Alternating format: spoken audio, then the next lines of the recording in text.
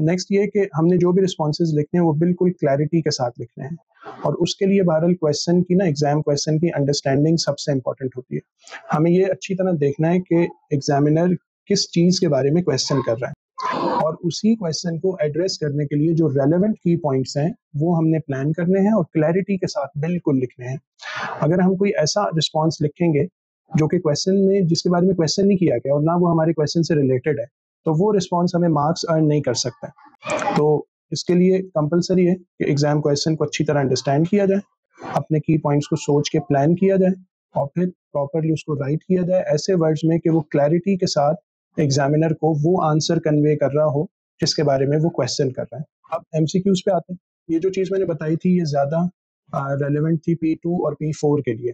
Exam responses को कैसे build करना है। एमसीक्यूज में सबसे पहली टिप हमेशा ये होती है कि कभी भी कोई एमसीक्यू का आंसर ब्लैंक हमें नहीं छोड़ना है। अगर हमें कोई भी चीज़ समझ में नहीं आ रही किसी एमसीक्यू में, तब भी हमें एटलीस्ट कोई एक ऑप्शन ज़रूर लेना है। सेकेंडली जल्दी में एमसीक्यू अटेम्प्ट नहीं करना है। बाजू का ऐसा होता है कि हम क्वेश्चन को रीड करते हैं और पहला ही रिस्पॉन्स या दूसरा ही रिस्पॉन्स हमें समझ में आ जाता है कि यही इसका करेक्ट आंसर है। तो उसमें हम बाजू का थर्ड या फोर्थ या सेकंड रिस्पॉन्स पढ़ते भी नहीं है।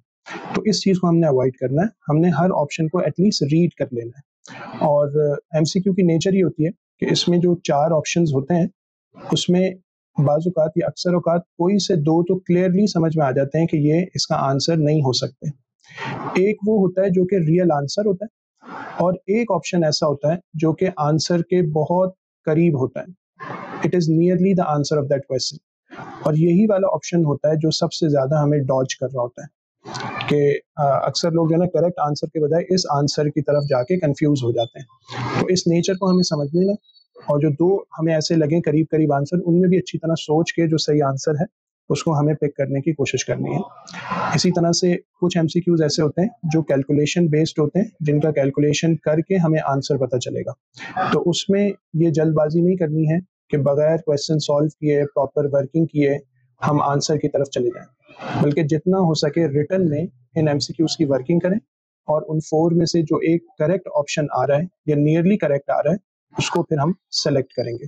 बाकी जो कॉन्सेप्चुअल क्वेश्चंस होते हैं, जिनमें कोई वर्किंग करने की या कैलकुलेशन करने की ज़रूरत नहीं होती, उनमें सिर्फ़ हमें अच्छी तरह कॉम्प्रीहेंड करना है सिनेरियो को फिनोमिना को कॉन्सेप्ट को समझना है, और फिर जो सही आंसर उसमें होगा, उसको हमें सेलेक्ट करना है। बाकी पी वन में मैं फर्दर ये टिप भी एक्सप्लेन करूँगा कि हम इसको जो है ना दो राउंड्स में सॉल्व करते हैं। पहले राउंड में जो एम हमें ज़्यादा कुछ टाइम लगाए बगैर हम इजीली अटेम्प्ट कर सकते हैं।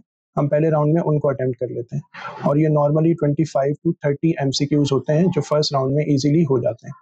बाकी 10 टू 15 या 5 टू 10 कुछ ऐसे एम होते हैं जिनको पढ़ के हमें समझ में आ जाता है कि इस पर थोड़ा सा ना टाइम लगाना पड़ेगा।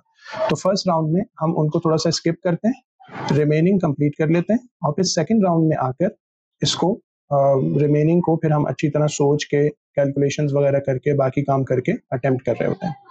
अगर हम जी का पेपर कर रहे हैं तो हमें 60 मिनट्स अवेलेबल होंगे 40 एम के लिए।